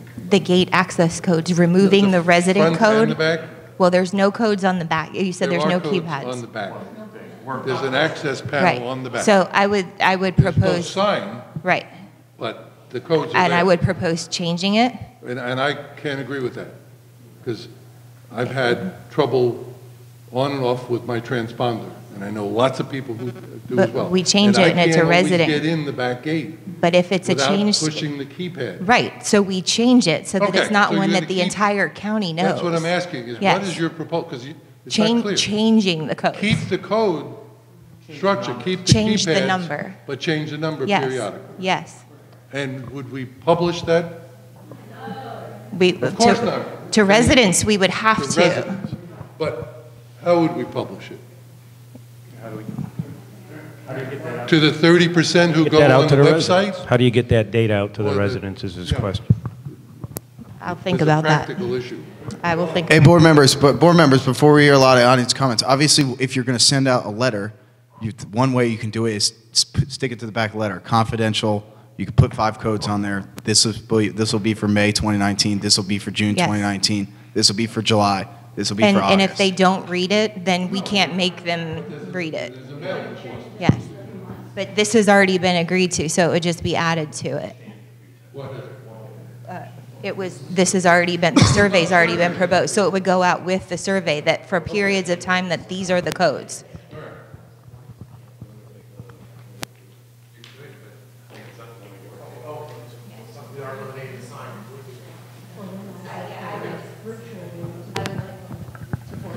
All residents and guests to the main gate. Do you mind if I explain? Yes, please. Uh, it- It's not what you're thinking. Uh, You don't know what I'm thinking. I know, no, but uh, the idea is not to make monthly codes. The idea is to, Lindsay just said. five, five different codes, but not rotated the way you think. The five codes would be printed on a sheet of paper, on a, on a stand that they put out front at the, at the main gatehouse. That's the only place that those codes would be usable. And uh, That's different. that's, that's correct. It's different than what Lindsay said. The kiosk that you're, re- the- if you're, if you're referring to the north kiosk, the ki- kiosk functions over there and it accepts codes. But it also, but it also currently accept, it, it accepts codes that residents have. All the old, re- excuse me, not old, but residents that have lived here for a while have a code. They have private codes. So you can get yourself in. So you don't have to use the 477 code. If you have your own code that's 12355, that one would continue to work. Get that code if you contact the resident. If you can't, you can get that code from, Carlene can set up the code and she can program the kiosks. She, she has it for a whole list of people. Right. And they're already set up. There are many residents that have been here for 10, 15 years, we've been using the codes. But you have to get that code by talking to the resident. Well, okay. You're a visitor. Okay, but that- that- there's, there's a separate issue. With regards to the front main gate, Well, don't stop back and forth. Stick with one, finish your, what your proposal is, and then let us uh, absorb it and, and agree to Uh, something. okay, let- Then move on to. So, so the proposal is very simple. Create five rotating codes that are not used in any normal pattern per se. The guard puts out a code for Monday, or it can be arranged through Carlene. So on Monday, a certain code works. If he's not at the gate, he puts out the board that says code 7777 works today. Tuesday, he puts out a code that's 5555. And again, only to be used when the guard's not there. You can disable the code box so that it doesn't even function if the guard is at the main gate. Very simple interlock. A kid can do it. So now we don't have people just randomly going through, blowing through the gates, because right now, this whole idea of taking people's names and license plates and all that is totally missed because everybody just punches in 477 or 377 and just goes in. Maybe 10% of the people actually go to the gate guard and talk to him. But, So it- but- but if the guard were always at the gate and never not at the gate. Then you don't need it, you don't display the sign. You, so then you don't display the sign. But if he's going on his rounds, Because the guard's always there for visitors. but right now, Or what about for residents? the residents, the residents have clickers. No, they don't necessarily. They use their own codes too. Their own codes? You can, you can see Carlene. But why don't they have clickers? It'd be the bigger Because they have three cars. Then they can buy another one. No, You can, That's not our fault. you can program the clicker. Ma'am. There's plenty of situations, plus, you know. Anyway, there's only one, Don't always work. there's only one catch to this plan right at the current moment. Carlene's having some kind of problem with communicating to the kiosks. So until that gets fixed, we have a slight delay. I'm sorry, the- the reason, the reason I'm belaboring this is for years, we have debated the security protocols.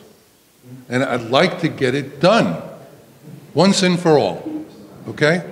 And that's why I'm, I want to understand what it is that's being proposed, so that at least we can agree on what it is that we're approving. My proposal is to have a roaming changing of the code. Okay, but that's, that's like paragraph 37 of a 20-page document. It's a temporary- So what are the, what are the post orders for the guards? That if the, if the resident or a guest enters through the, the resident gate and punches in a code, there is no, Off wandering.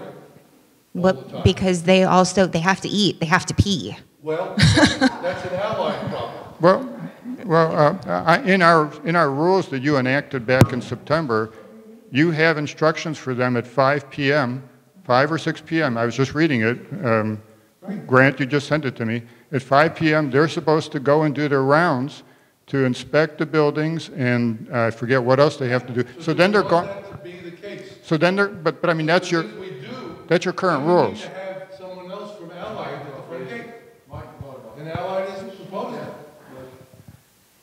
I'm yelling loud enough. I don't mean to. Okay, and, and changing the post orders at this point just isn't going to be effective, is my opinion, but having the code change on a random basis and not be publicized at the gates, I feel, would be more So how do you effective. find out, Jen, what the code is when you're entering the back gate? We can set a as a resident? schedule. As, as a resident, if your clicker's not working and you're going through the back gate, you could ask Carlene to give you your personal code, so that you don't have to deal with these five random codes. So that, a code that never changes? There will be, there'll be a personal code for you. change. Until, until we find out you've given it out to people, then But we have you've to still change it. got, you've got to get that data out to the community. How do you get that out to the community when the code changes? We- I'm at the back gate, my clicker doesn't work.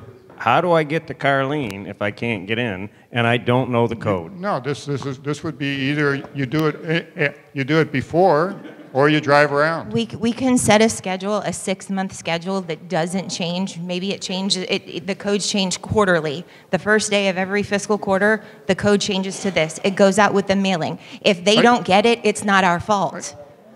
They need to check their mail. The other thing, board members, is let's not forget what Ed indicated previously, is that right now, to do these gate code changes, this kiosk we're having issues with. So that's going to need to be addressed prior to any of these changes being done. So keep that in mind as well. This isn't going to be decided, to, this isn't going to be decided on tonight. This, this is something you need to fix the kiosk first and foremost. Once that's fixed, then you can discuss methods for that. Access has to come out here and change those codes. That, this is something that Carlene just can't do. This is, this is CIA Access has to come out and rewire or redo all those kiosks, just to let you know. I don't, I don't care.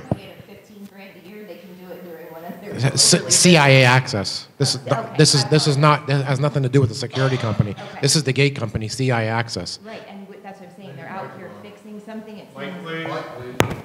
They're out here fixing something, it seems, at least three times a month, that it can be a scheduled visit. Oh, yeah, that it that's, that, happens- yeah, yeah, I'm just letting you know that that's There- just something they would it- have to do. Yeah. So you'll let us know when that's completed? Thank you. There, there's no way either you or Carlene couldn't be trained to do that? No? The only reason for this situation is because what was given Mike? The, the only reason that we're in the pickle that we're in right now is because what we gave out was the master code. 4777 is the master code. If we'd given out any other code, we wouldn't be in this pickle. So once we changed the master code, which Carlene thought was a 15-minute process, from that point on, we would never give out the master code. We would just give out these, these dummy codes. Or we put, put them on the board at the gatehouse on certain days.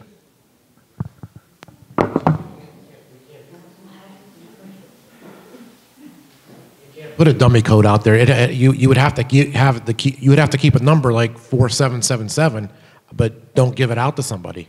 But, you know, I- Right, so that would be part of the, the, the quarterly change, where it would stay on that schedule, it would change the first day of the quarter. It would be a set code for first, second, third, fourth. And then see what she's saying is it would be just like a resident, See, or like a resident I would suggest, because I'm not, I, I have, I'm not familiar with none of this. I would, I would suggest we have a representative, some CIA access come out and address this to you guys. And what I'll talk to CIA because I use them in other communities. There's definitely software out there that I think we can put on our computers that should be able to do it. If I need to do it from Brandon, I can do it from Brandon.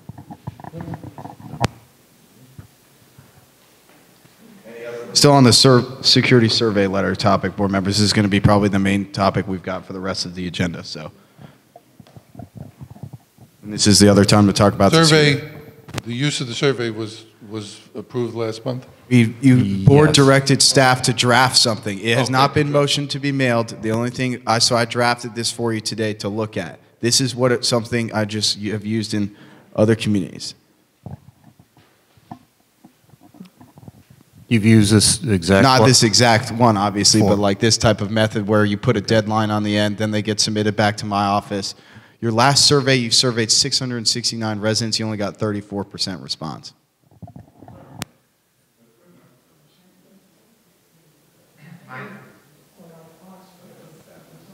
Comment with the Grant was that it should have a deadline on it, which you just referenced. There's a couple typos that I can show them as well, but.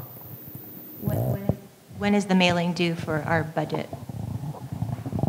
So your budget meeting is the fourth Thursday in May. They need to be approved. Any increases by June 15th of this year is the date that it's due to the county, that we submit your tax roll to the county.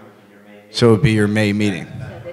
Unless you did a special meeting between your May meeting and June, and your June 15th deadline, but most of the time you'll motion at that May meeting for any sort of increase at that time. Yeah, that's, that's the key point to it, is if we are requesting or, requ- you know, re- submitting a need for an increase in the fees, we need to know by then, but not what our expenditures are necessarily. No, just that there's Just a if fee we're going to have the county collect more money for us, we have to tell them, You just need to set a high dollar amount. So you can put, you can say you're going to increase 5 million if you want, but you only have to, that's just a high watermark. You could only increase 100,000. But you just have to set that high watermark at May meeting. As Grant said, at that May meeting, you have to do it by June 15th. Based on our meeting schedule, it would be our May meeting. We would need to adopt a not-to-exceed budget. You can always, um, when you get to your public hearing, whether it's in August or July, you can always move money around between categories, and you can always lower it, but you would not be able to go higher because the county's going to put out a trim notice with a high water mark on it. So what would a reasonable deadline be to get this out and returned in time for that? So that would be, we would send that out in June, which would mean we'd probably make that sometime in July would be the She's deadline. talking about the survey.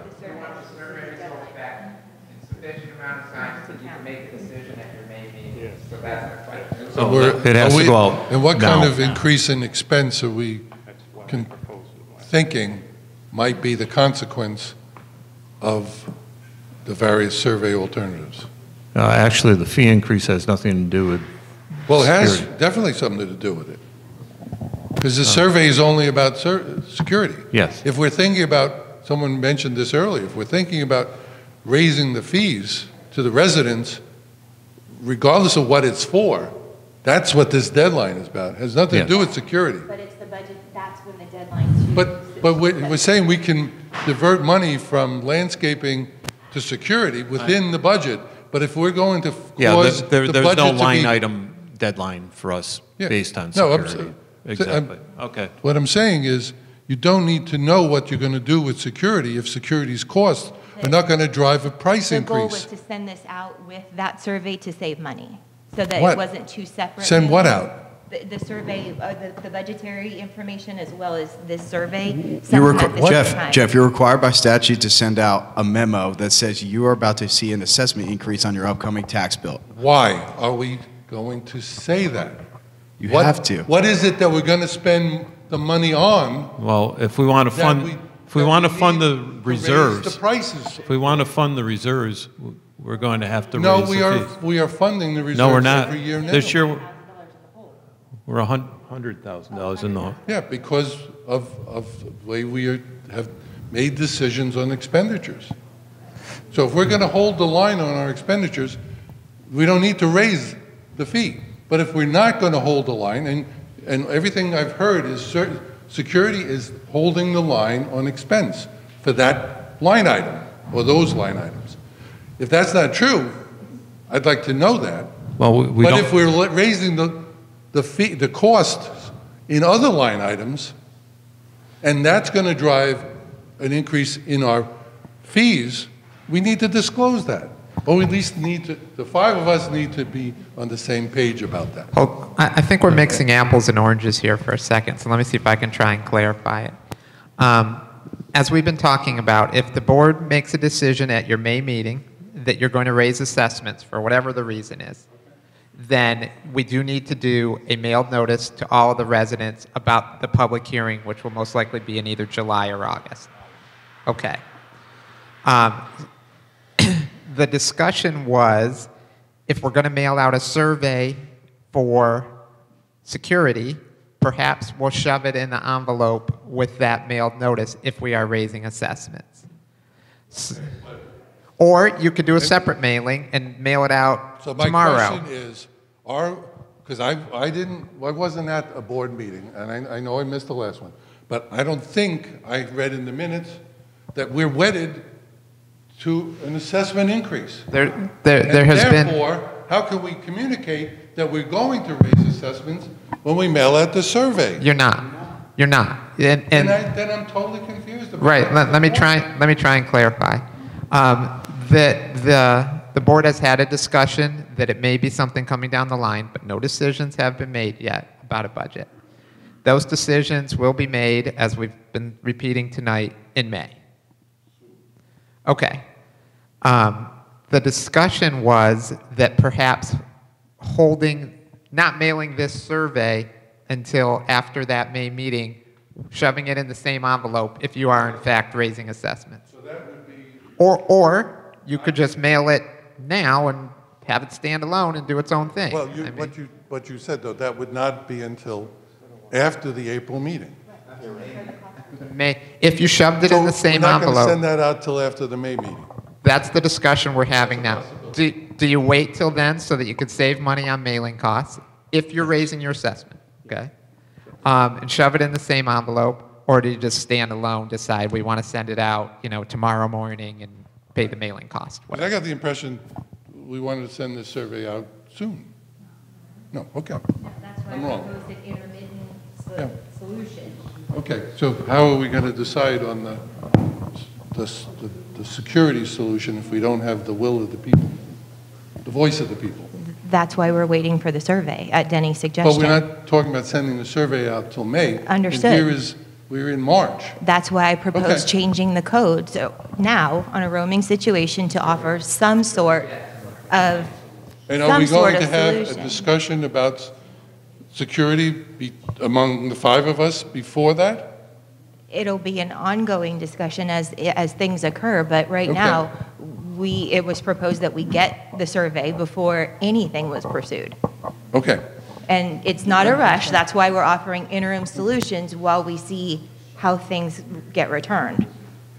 And we are getting a lot of feedback from residents with different ideas continually. Okay.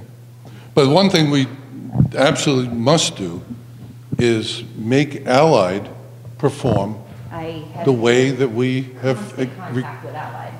you know, and that, in- if that means a change in uniforms, if that means that the guard has to stand for eight hours instead of sit down and put his feet up, um, those are all things we need to, Do- that's at the extreme. of course. Do, do we have a camera on the guard? That would be, that would be kind of po- po- almost pointless because you just turn it. I just want to make something clear.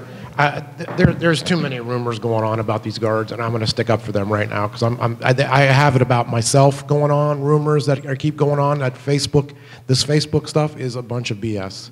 It is false news. I, I, I'm, I'm to the point where I'm, right now I'm listening to it. I'm, I'm kind of ticked off about it because the guards are not out there putting their feet up. The- I go, I communicate with them all the time. They know they are under constant surveillance. They are not going to be. They are correct. That that is not true. So I'm They are- lying that I witnessed You, this. you witnessed their, their feet up on the I desk. I witnessed his hat on backwards with his feet up on a desk. This is not, I'm a- well. this is. But it, let me, if, if we. Board if- members, one at a time. Board If we members, have a one at a time. contract with them, why can't we make them do what we want them to do? We don't. Completely. Force, Month force month. the issue, write, write the post orders, whatever way they are. When you find somebody or a resident indicates that they witnessed this, it gets back to Ed or Grant, and we get a hold of Allied, and we say, get rid of them. Or, or you put them on a one time, you failed, you're gone. I mean, manage, manage the process. with, that we have until it doesn't work at all, and then make changes if you need to. Since I've been in contact with Jerry, there have been improvements. I wouldn't say they're across the board 100%, but there have been improvements. He wasn't even aware we had post orders or that they weren't being followed. Jerry Cushing. But I, I wasn't involved in the process, so I can't call him a liar, but Dozens of understood. That's, that's why I asked him, that's why I asked him to review. I would say shame on us if we're not, if we're not managing them the way we want them to be managed. With a contract that we have for them, for the kind of money we're paying, we should get exactly what we want, when we want it, how we want it. And if we don't, then you change. Or you, you have a month-to-month process right now, so, and he wants to go on a contract, we want to get somebody on a contract, okay? So let's just say, hey, here's what you're required to do, and force him to do it.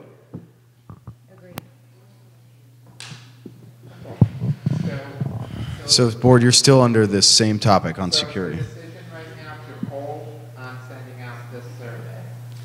I, what I will do, board members, is I can, if you want to take a look at this, and if you have any revisions or any additions to this, please submit them to me for the April meeting. I can bring a draft, I can bring the revised copy back once I receive, I'll send out my takeaway items tomorrow, like I do. And in that, it'll have directions on there for you guys to send in to me, any revisions, and I'll send you a Word document form of the letter. You guys can take a look at that, revise it any way you'd like. I'll compile all the edits, and I'll even do, if it's drastic differences, I'll make separate versions and put them at the top for you to review. For the April meeting. Yes, sounds good. Any other topic, any other discussions on this topic at this time, board members, before we move forward? Developer punch list items. We discussed Phase 5B turnover. Jim, you're going to be discussing that. I'm also going to provide to you as well the ongoing punch list items as well, so you can bring that up to them. There should, Denny, if you, if you refresh my memory, I don't, he lit all the monuments.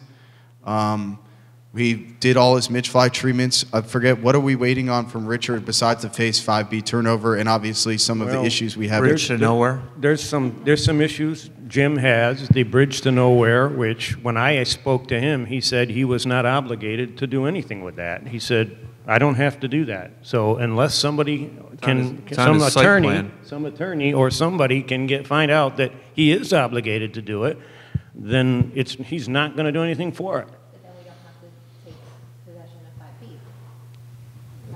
Uh, I don't know, is that part of 5B? Because I don't know that it is. I don't know It's- if- it- It's I don't behind, know if it's it's part of- behind Chantilly, but- not the other side. Yeah. That is our remaining bargaining chip as we talked And it's in, isn't it in, in his site plan? I'd have to double check. I Yeah, believe I- it is. Everything that I've seen, it's in the site plan. Yeah. But board members, what I want you to be aware of is if Jim having this meeting on Monday, I want you guys to give him anything you have for Richard at this time because this is the only time all five of you will be together before he sees Richard. So anything you think you want him to speak with the developer on on Monday, please hash that out at this time. Obviously, any kind of ir- uh, not irrigation issues, any kind of aeration issues in those two ponds because they're horrible, okay? The two new Uh, ponds. The new, two new ponds. Um, Anything having to do with uh, paths that are supposed to go through there. Um, I know at the back end of that area, there's a open gate that you can Yep. just walk through and get through if you're over in Gates Creek. You could ride bicycles, motorcycles through there. Yeah, I know, I've been back there. And I think Ed's also concerned with some of the irrigation and planting along that wall.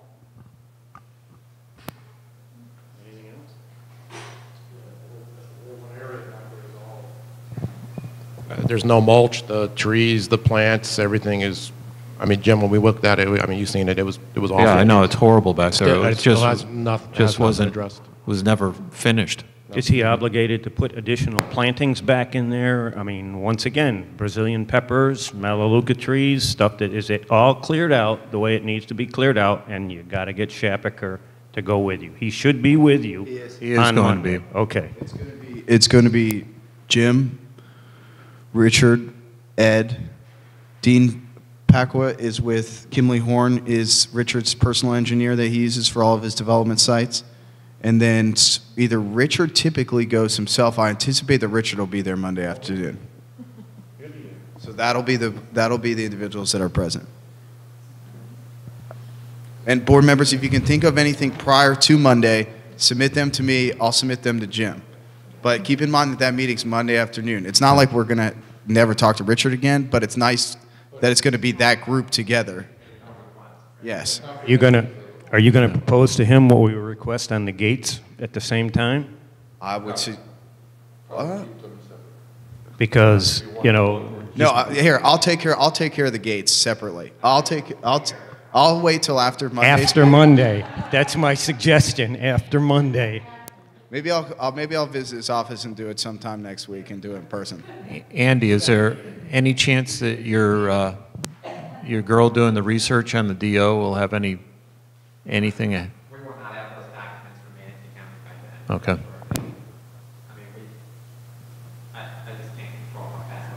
I mean, I, you're going to have a follow up conversation. I anticipate after uh, Monday. So. Yeah, I know I'm not going to accept, Yeah. you know, the, the property on a, on a promise. Understood. Once again, board members, if you had anything else before Monday, let me know as well. I'll talk to Richard after I speak with Jim and everybody after their on-site meeting on Monday, and then I'll bring up the uh, construction traffic only coming through the one gate with him next week. Probably, probably first Tuesday morning. I'll send him a calendar invite for a conference call. Next up, uh, Next up is CDM. I'll be happy to do that. CDM amenity item additions. We talked about Mark. You're going to work with Ed on the play and spray. Is there anything else you'd like to see prior to next month? Uh, Like I requested, the, I, thi- I know you sent out an email to everybody to uh, develop things that they would like to see on a master list, a master plan, and where, you know, and then we can start to use those to prioritize things that we might want to get done in the future. And that can include anything like improvements to landscape in certain areas, uh, addition of uh, irrigation, all that kind of stuff. This is a blank slate, right? Yes, blank slate. What I would, Just- yes, what I would encourage you to do is anything that you want to see in that master plan, based off my email yesterday, submit to me. I'll do it similar to what I was talking about with the revised security letter. I'll compile it all into one. and I'll slap it on the April And agenda. once we get it all compiled, we can prioritize it and put costs associated with it. getting costs Because that'll also with it. help you with your determination on whether we want to raise fees and if And- what, and what we need, what we're going to do with the money. And this is good to do now because, as we discussed earlier in the meeting, your May meeting is your proposed budget. So if you have your amenity items caution, you rank them, what priority you want to get done in fiscal year 1920, you can look at that in May and say, hey, we're doing the plane spray, and we're going to do one other big project in 20, 1920. And that list will be able to show you exactly what that'll be, and then we'll have costs for that for May. The last item, Jeff, I apologize. I left the action item list on the printer, so I'm going to send it out to you tomorrow via email. I apologize. The last item would be supervisor request. We can start with Jim. No, I don't have anything right Lindsay? now. Yes, ma'am. Uh, information on the play and spray so we can make a decision. We'll have that for April, and we'll make sure that that's complete and detailed. Mark? Basketball and tennis court resurfacing? Basketball and tennis court resurfacing was what Mark mentioned. Denny? Nothing. Jeff? If there's nothing further, then board members, are we seeking a motion to adjourn? Motion. Motion by Denny, second by Jim. All in favor, please say aye. Any opposed? Consider this meeting adjourned at 7:54.